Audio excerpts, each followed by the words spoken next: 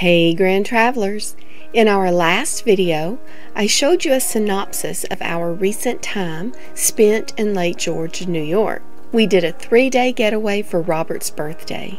He loved every bit of it, especially as his twin brother Ron and his wife Nikki were able to join in on the fun.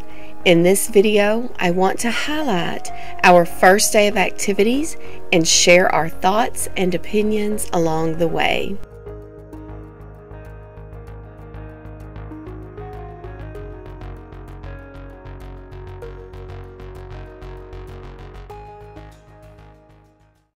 Our first day in Lake George was spent at Oktoberfest and on Lake George itself cruising on the Adirondac. For parking that day, we opted to pay $10 and park pretty close to where the festival was happening. So we turned left into this area between the Fire and Ice Bar and Grill and a strip mall with military and tattoo stores in it. After parking, we headed toward the festival. The scent of good German food filled the air, and the sound of good German music also filled the air. The festival that day started at noon and ended at 5 o'clock p.m., so people were arriving hungry for lunch. There were a good number of tents up that had crafts and homemade goods for sale. My daughter purchased some flavored honey sticks from one of the tents. There were carnival games and carnival rides for people of all ages. We didn't do any shopping at the Oktoberfest tents or play games. We mainly spent probably an hour or so listening to some good German polka music. This group was so good, I am pretty sure I smiled the entire time listening to them. I loved their costumes too. The ladies each had a floral wreath around their head. They were so pretty. The gentlemen's costumes were also outstanding. I got a kick out of the tuba player who reminded me of the cliffhanger guy from the game on The Price is Right.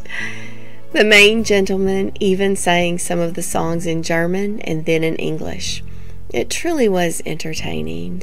As I had never been to an Oktoberfest before this, I just found it all most fascinating. It was super neat to see some even dressed in traditional German attire.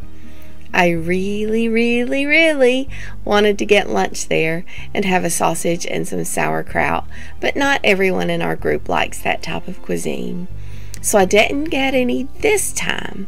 But the next time I go, I am totally going to chow down on some good German food and appreciate the sustenance of my ancestors. All in all, I hope to go back to Oktoberfest in Lake George and take some time to poke around the other tents.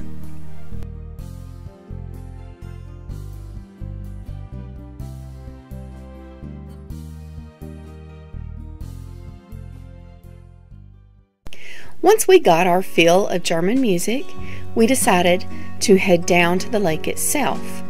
From Canada Street, there are multiple walkways that you can follow. However, be aware that these walkways are at a noticeable incline. I have been able to maneuver them just fine with an ankle that was broken back in 2012 and never regained full flexibility. But if you are not too keen on inclines, you can access the lake from Beach Road. Now, Beach Road runs right in front of the pier for the Minnehaha boat tour. It is a fairly flat access point. Once you make it down to the lake, there is a nice, smooth, paved walkway that traverses a good portion of the lake in Lake George. The walkway we took was beside Shepard Park, and it took us directly out on a huge wooden pier overlooking the lake. The pier itself is an L shape, so in one direction you have views of several of the tour boats and their docks, and in the other direction, you can look across the lake as well as down the lake. We always enjoy taking some time just to stand at the railing, take in the fresh air, and let the lake and mountains refresh our spirits. And of course, we have to get our photo taken. With scenery like this, it is a must do activity. We eventually made our way around the lake to check out tickets for a tour on the Minnehaha. Robert and I cruised on this boat last year. It was a super cool experience. There is a steam calliope on board that the captain actually plays at some point during the tour. It was very neat to listen to. However, we opted to cruise aboard the Adirondac this time. The Adirondac is owned and operated by Lake George Shoreline Cruises. We took a one hour tour for around $21 per person. The Adirondac can hold 400 passengers over her three decks, one of which is open air. However, this boat was nowhere near capacity. When we stopped to purchase tickets in advance, the young lady working the booth said to not worry about purchasing them now.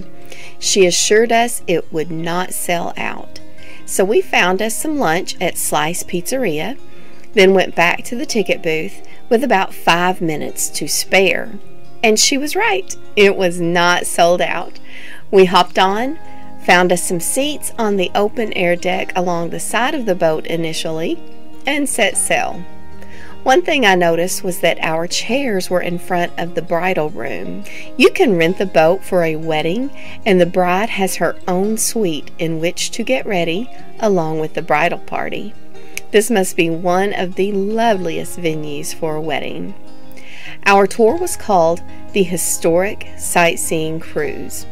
This is a narrated cruise by the captain, nonetheless, that takes you up close and personal with happenings from the French and Indian War, the Revolutionary War, as well as you get a glimpse of Millionaire's Row, plus more. If you are ever in Lake George, we highly recommend a tour on the Adirondac.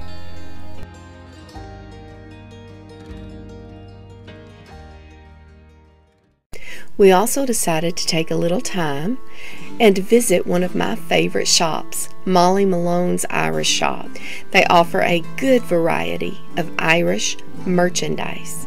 All of the products have been hand picked and manufactured and imported directly from Ireland and Scotland to maintain authenticity. Let's take a look around so I can show you what they have.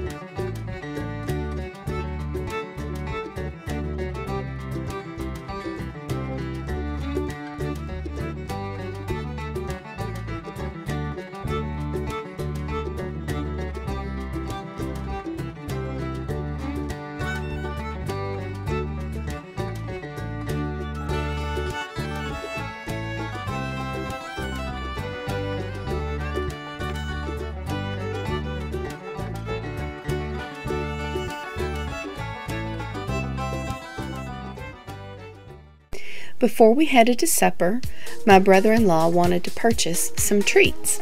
There are a good number of candy stores around Lake George. We simply stopped at the first one we came to on Canada Street.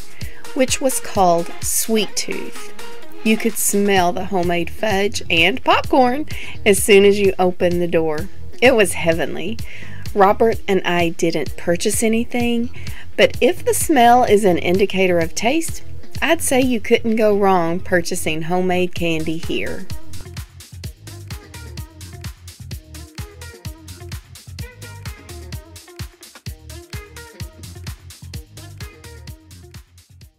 Supper that night was at one of our favorite restaurants, Friendly's. Is there a Friendly's near you? All of the ones around Rochester closed several years ago. We were so sad.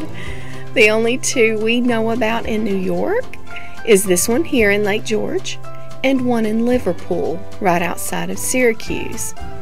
Now, I always get their honey barbecue chicken melt and fries. It is so good.